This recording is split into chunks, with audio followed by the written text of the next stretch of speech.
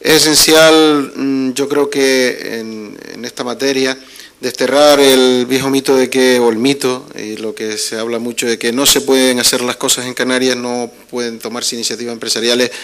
porque el planeamiento lo impide, porque no hay planeamiento o porque es muy tedioso tener el planeamiento a punto. Eh, mm, reseñar o resaltar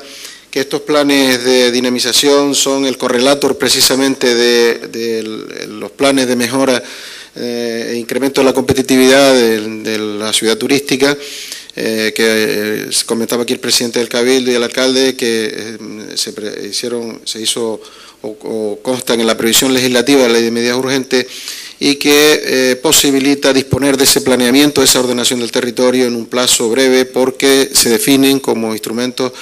eh, que eh, respetando la seguridad jurídica, la participación ciudadana, etcétera, en la proporcionalidad eh, adecuada,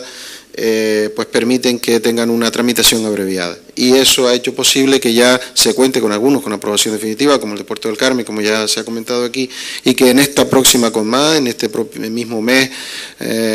pues vaya precisamente la aprobación del plan de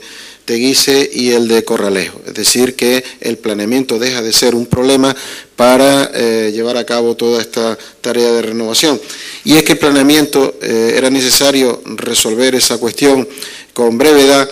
porque eh, para cambiar la ciudad turística, lógicamente, hay que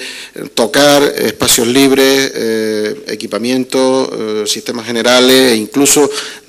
ordenanzas municipales e incluso también reclasificación de suelos para aquellas necesidades de implantación de edificaciones que se trasladan o se sustituyen de lugares que están saturados para poder ubicarlos en otro lugar. Por tanto, simplemente era remarcar esa parte porque el resto creo que ha quedado claro y simplemente pues decir eso, que el planeamiento no es un problema hoy para renovar la planta turística.